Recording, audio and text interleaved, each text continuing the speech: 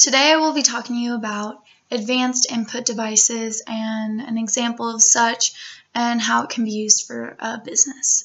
So an example of an advanced input device would be a scanner that um, is used in retail, grocery stores, or any kind of other store to ring up items into the computer at each register.